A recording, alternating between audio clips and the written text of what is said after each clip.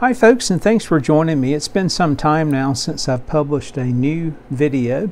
In addition, I'm way behind on responding to uh, comments, so please accept my apologies for my uh, lack of response. I'll try to get caught back up here in the next uh, week as uh, time permits.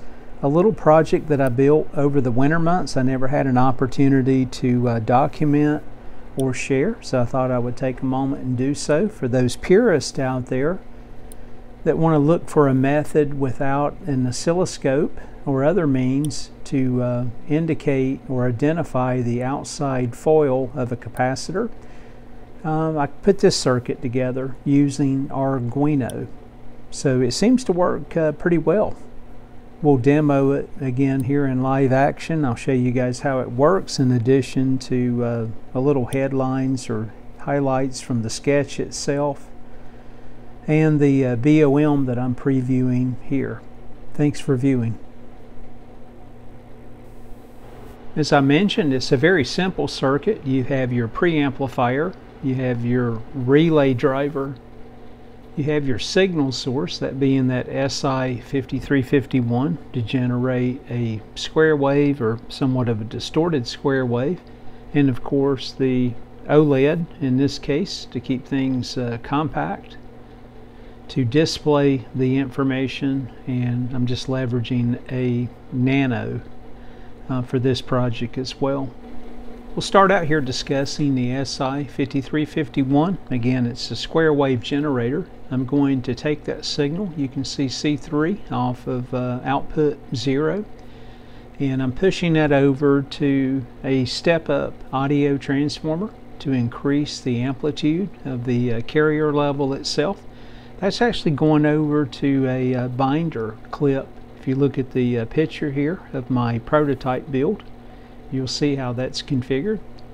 So again, you can see the binder clip itself is around the uh, capacitor under test and that has the 200 kilohertz signal in my case from the uh, SI5351 and the capacitor itself is tied back to the two posts the red and black and of course we're going to alternate the uh, relay, the double pole, double throw relay to uh, measure the uh, signal or the amplitude of the signal itself that we're receiving off of the uh, capacitor. And in my build, the one with the highest level and amplitude would indicate the uh, outside foil side of the uh, capacitor or shielded side of the capacitor.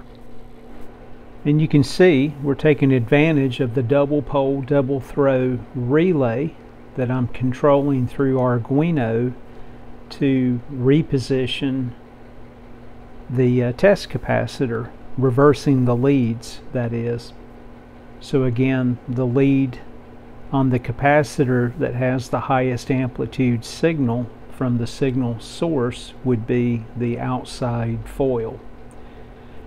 That's where the uh, preamplifier comes in.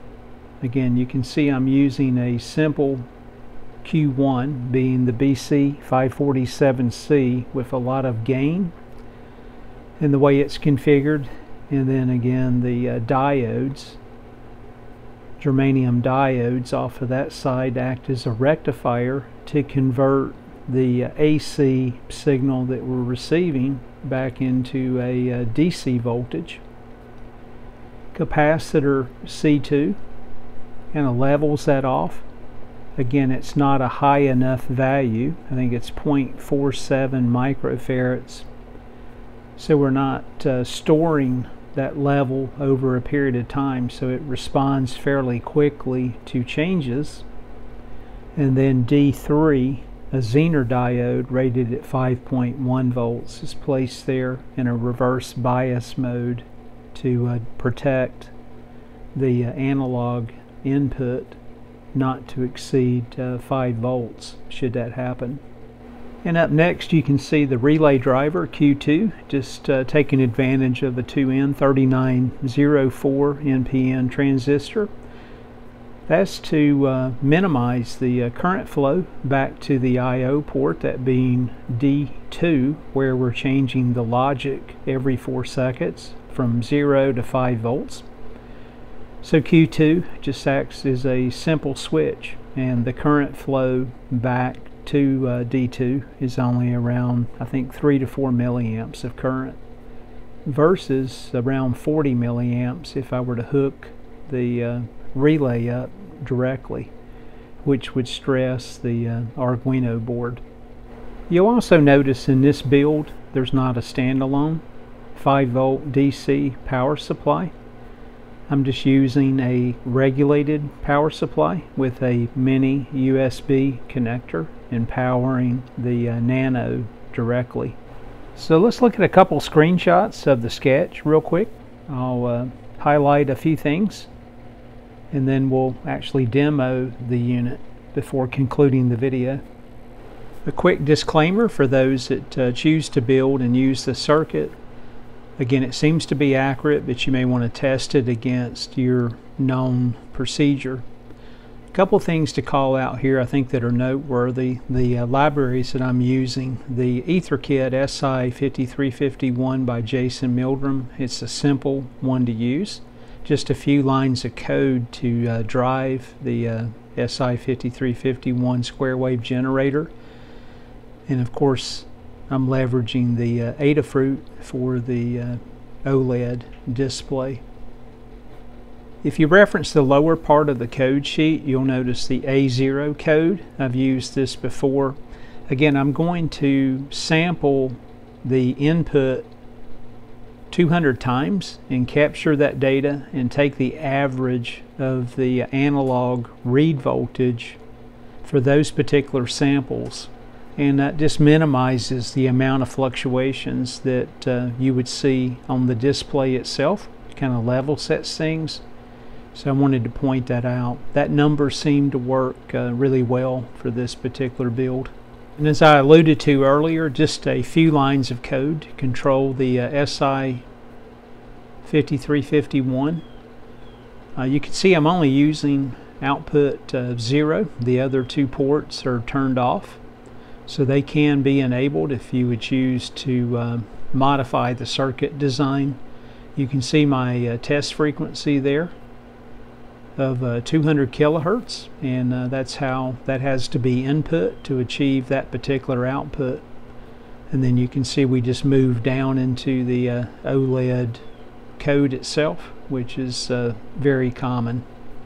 One snippet of code that I used that works really well by David uh, Mellis, blink without delay, modified to control the relay itself, that is to switch the uh, relay every uh, four seconds. So we're switching the uh, capacitor around every four seconds and reading that information you can see on the OLED itself to indicate the uh, black connection point or red connection point with the highest amplitude signal. So that's how I'm achieving that by just using uh, one analog input source. A couple lines of code that you may have to tweak for calibration. That would be the voltages on the OLED display. Again, the data that you would see on the serial port itself would be raw data not calibrated but we can tweak what we see on the OLED by following a, a simple calibration process. I'll describe uh, two methods and procedures that you might want to consider if you uh, build the circuit. Let's take a look at that now. We get the unit plugged in here and uh, we'll take a look at the uh, calibration process. Okay, you probably can't see the display well from this view, but you'll notice I have the uh, meter hooked up and I have the uh, plus lead on the uh, cathode side of uh, D3 that Zener diode and this is my uh, ground connection here and I'm just reading again the uh, DC voltage and you can see the DC voltage that's being or the AC voltage that's being rectified constantly change is the relay itself is energized every four seconds that I alluded to earlier. So if we go into, uh, on my meter, I'll just go into min max. We'll look at the max voltage first, let that settle in. And if we go to the uh, min voltage, again, I'm using a multiplier in the code of times 1000 just to make the uh, display number higher. But you can change the uh, code or the multiplier to make the display itself closer match what you're reading here on your analog voltage. So that's what I've done. And I've actually done it a couple different ways using a capacitor in the circuit as you see here or removing the capacitor and taking my input signal and going to the uh, black connection point and capturing that data and then moving over to the uh, red side and capturing that data and again changing the uh, multiplier to closer measure the uh, voltage that's being recorded here. Again you can see the voltage changing, the DC voltage changing. That would be the ingress that we're receiving, that 200 kilohertz signal off of the binder clip around the uh, capacitor as we alternate between the uh, red and black uh, post. And you can see the voltage uh, change. Again, the one with the highest DC voltage would indicate the uh, outside foil and the least amount uh, being just the opposite. So let me move the meter out of the way. OLEDs just don't want to show up well on camera so hopefully you guys can see that, but uh, let me just remove the uh, input signal source here to the binder clip. And I'll remove the uh, capacitor here. I'm actually going to reverse it. You can see I already have this side marked as my outside foil. So the highest amplitude signal here should follow the uh, black side now.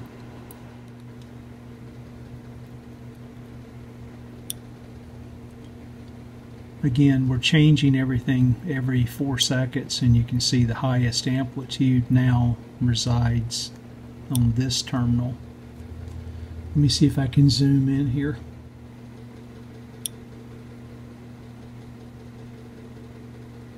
Okay and I'll flip that around again. Let it go through a couple rotations. Again we're taking those uh, 100 samples and as it updates you should see it now change and indeed it did. You can see black has our least amount of signal red has our highest signal so red being the outside foil. So that's how the uh, circuit works.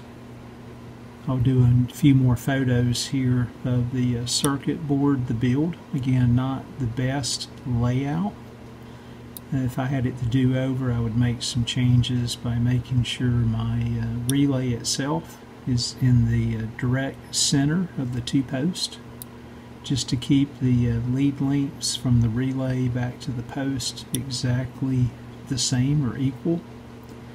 And of course, probably orient things uh, in a different direction so the uh, OLED itself fits on the board itself and doesn't overhang but just a uh, kind of a fun project to do this winter. More of a uh, proof of concept to see if it would actually uh, work and it uh, does work well. Appreciate you guys uh, watching. Everyone out there uh, take care and stay well